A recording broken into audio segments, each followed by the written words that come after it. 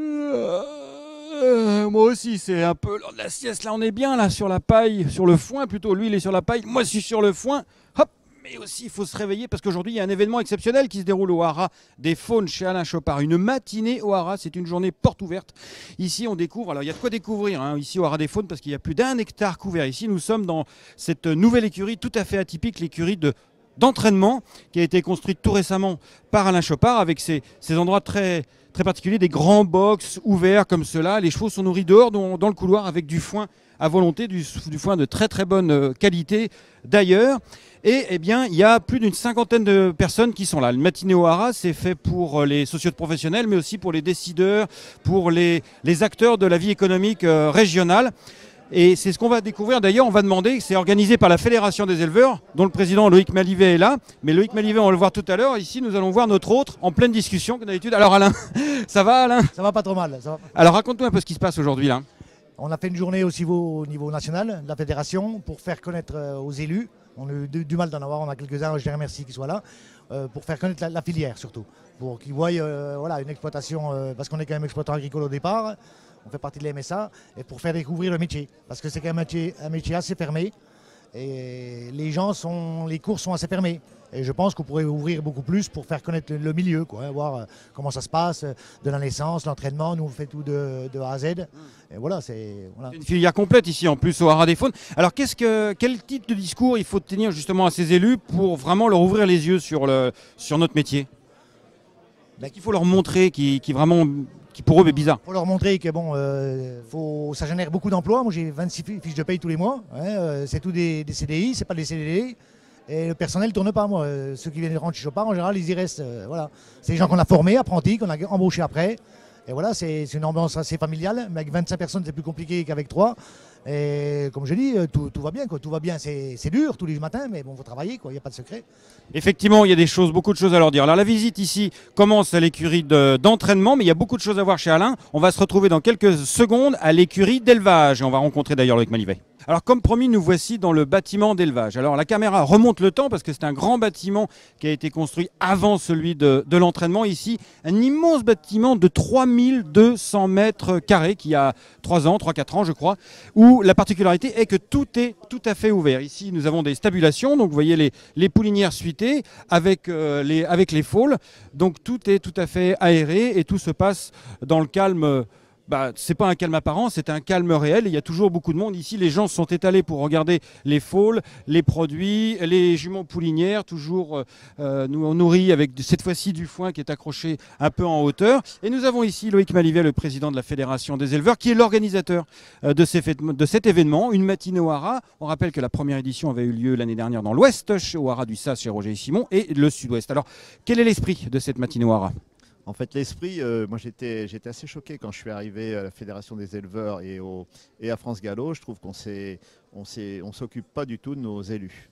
Alors c'était de trouver Les élus politiques, on parle bien. politiques, les élus politiques. ouais. De la vraie vie, on va dire. Voilà.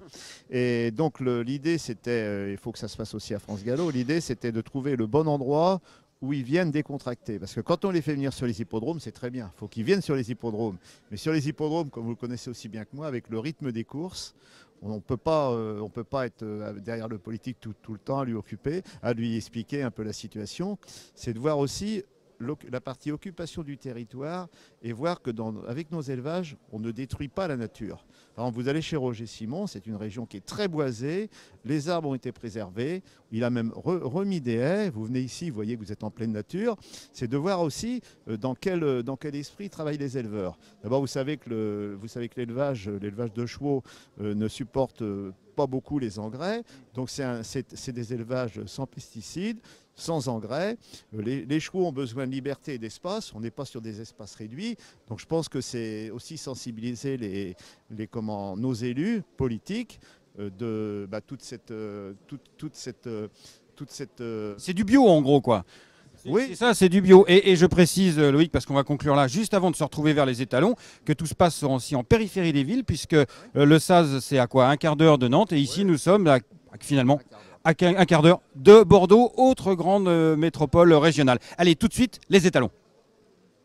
Comme promis, la présentation des étalons et on ne vous ment pas. À la preuve en image, il s'agit d'Amadeus Wolf qui est prêt à bondir. Il vient de finir sa saison de monte. C'est l'un des sept étalons du Haras des Faunes. Alors on va demander aux politiques, hein, parce que c'est aux élus. C'est pour ça que euh, cette journée, cette matinée un peu pluvieuse est organisée. Monsieur Jean Galland, je crois, qui est ici, conseiller départemental. Bonjour monsieur. Alors vous découvrez un petit peu les chevaux tout à fait. Jusqu'à présent, pour moi, les chevaux, c'était sous les capots d'une voiture. Donc c'est une véritable découverte. Mais je trouve que c'est absolument magnifique que l'installation ici est tout à fait euh, ultra moderne, euh, vraiment, euh, vraiment organisée pour que tout se passe dans les meilleures conditions possibles, à la fois pour ceux qui travaillent et pour les chevaux. Et je trouve que voilà, je découvre vraiment un monde que j'ignorais totalement et je suis assez fasciné. Est-ce que vous vous rendiez compte de l'aménagement du territoire et des notions d'emploi aussi que ça implique le monde des courses? Ben, jusqu'à ce matin, non, mais quand je m'aperçois du nombre de personnes qui, travaillent ici, euh, des emplois qui sont créés, euh, de la surface euh, qui a été utilisée et qui a été aménagée spécifiquement, je crois que c'est véritablement une valorisation du patrimoine. Merci monsieur. Ça c'est une, intervention tout à fait intéressante que Loïc Malivet va apprécier je crois. on va se reculer un petit peu, hop on va revenir là et on va voir un, élu de terrain qui lui connaît bien, connaît bien l'histoire et connaît bien l'endroit comme il ne fut euh, pas du tout au début. Euh, c'est Monsieur Bernard Guillem, le maire d'Arvers. Alors, vous avez connu ici, il y avait rien. Rien, il n'y avait que de la boue, des ronces, des vaches et un tas de fumier. Et j'ai connu Alain Chopard quand il est arrivé en 2001, je crois. Euh, au début, on a dit, tiens, il y a quelqu'un qui va installer des chevaux là-dedans. Moi, le premier, j'ai pensé que c'était une erreur parce que c'était humide, etc.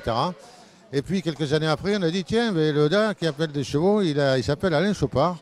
Et euh, il a déjà une dizaine de chevaux, 15 chevaux. Moi, je l'ai connu et j'ai suivi son cursus parce que j'étais euh, fabricant et réparateur de machines agricoles. En fait, euh, il est venu vers moi aussitôt, on a sympathisé, j'ai connu toute son, aventure. C'est quelque chose qui euh, a valorisé la commune. Euh, aujourd'hui, il y a beaucoup de gens d'Espagne et d'ailleurs qui connaissent Arvers parce que Alain Chopard est là. Et c'est pas par hasard qu'il est là. Moi, je me suis souvent battu lorsqu'il a dû faire de progresser, construire des bâtiments, etc. Parce que je tenais, j'avais à cœur que Alain reste là parce qu'il fallait absolument que Arvers bénéficie de, cette marque-là. Et euh, je me suis battu pour qu'il ait des permis. Je suis allé au préfet, je suis allé au député, etc. Euh, on l'a quelque part aidé, si, au moins administrativement, et soutenu pour qu'il puisse avancer. Et Alain Chopard, euh, ben, il a gagné des courses. Il, a, il mérite un jour, Alain, euh, je ne sais pas si c'était le cas, mais euh, tout le mal que je lui souhaite, c'est qu'un jour il gagne euh, le Grand Prix d'Amérique ou, voir le. Le l'Arc de Triomphe avec des galopeurs. Voir l'Arc de Triomphe. Merci monsieur. Eh bien voilà, les élus politiques, de locaux ou régionaux, qui signalent l'importance et l'atout cheval de course, surtout dans une commune et sur un territoire. Ça ne s'est pas dit assez pour l'instant, mais ça commence à venir avec les matinaux. Prochain rendez-vous le 15 septembre au Rat de Cercy dans la Nièvre. Ciao